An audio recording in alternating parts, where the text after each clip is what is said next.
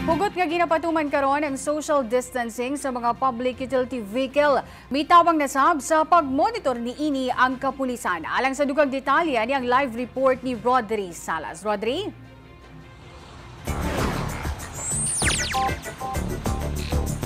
Hanap pa dayon gihapon karon ang ginapahigayon nga random checkpoint sa Davao City Police Office sa mga designated areas diri sa Davao City. Ilabi na sila ang pagpatuman sa General Community Quarantine sa tibuok Dakbayan. Gani ato ang gibisita kaganiha sa may Balyok area doon na po yung mga personahe dito sa Talomong Police, sa ilalom sa Davao City Police Office nga nagapatuman sa checkpoint. Diyan sa ilahang checkpoint, ilahang ginasita o ginaabisuhan ang mga motorista nga ipatuman jud ang ah, social distancing sa mga public utility vehicle o gina-request ang mga pasahero o mga drivers nga kinahanglan magsuot jud og face mask aron nga malikay sa COVID-19.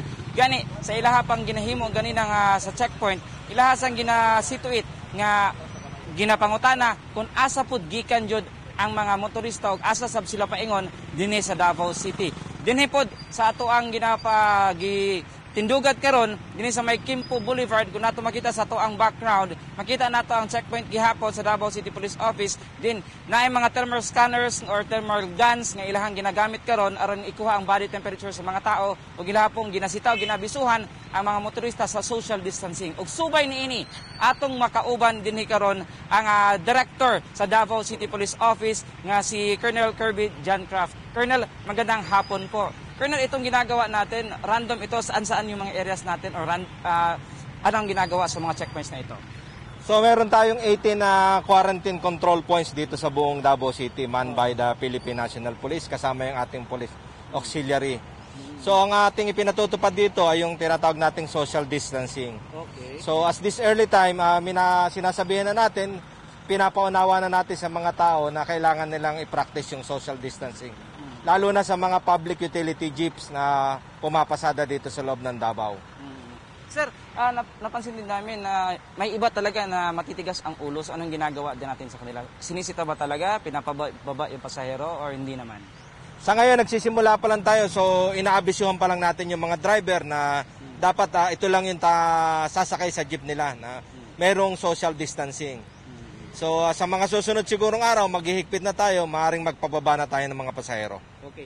Colonel, may mga tanong din na kung ipapatupad ah, bukas ang region-wide na lockdown natin, yun bang mga checkpoints na gagawin natin, wa- mawawala yun at free-flowing na lang tayo dito sa Davao Region, mula Davao City, makakapuntang Del Norte, Del Norte makakapuntang free-flowing sa Davao City. Hindi po, ah, nandiyan pa rin yung ating mga border checkpoints na magsasagawa po ng inspection at yung ating pinatutupad na security and health inspection ay ganun pa rin ang magiging protocol, ang procedures. And meron po bang mga bagong advisories, LGU advisories yung ating uh, pamahalaan tungkol po sa mga ipapatupad natin na batas during the COVID-19 na panahon ito? Ang isa po rito nga importante na nais nating iparating sa ating mga Dabawenyos ay simula po bukas, Marso 19, ay eh, magkakaroon po tayo ng liquor ban. So from ah, 5 p.m. hanggang 8 a.m. the following day. So hindi na po tayo magkakaroon ng ah, pag-iinuman pagdating po ng alas 5 ng hapon. Okay. With regards sa curfew po, meron po ba tayong bagong advisory on curfew natin po? Ah, itong ating ipinatutupad yung restrict ah, restriction of movement of non non-essential movements. Ang mga tao po ay ina-advise natin na manatili po sa kanilang mga tahanan. Huwag na po silang lumabas kung wala naman silang importanteng lakad sa karsada. Kaya nga po kami, ang mga ating ah, Davao City Police, kahit sa gabi ay maninita upang pauwiin po ang mga taong nasa karsada.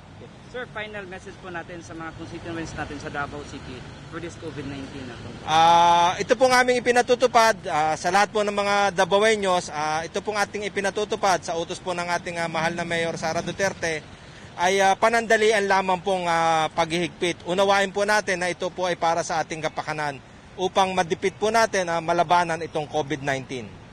Maraming salamat po, Colonel uh, Kirby John Craft, ang uh, City Director ng Davao City Police Office. Uh, sa ato pong namatikdan kaganiya diha sa may Matina area hana nga naa po ang mga personahe sa Land Transportation Franchising and Regulatory Board 11 nga hugot pod kayo nga ilahang ginaabisuhan, ginasita ang mga motorista nga himuon or ipatuman jud ang social distancing protocol. Gani makita, nakita gani na nga ang mga pasahero gipanaog jud nila sa sa jeep.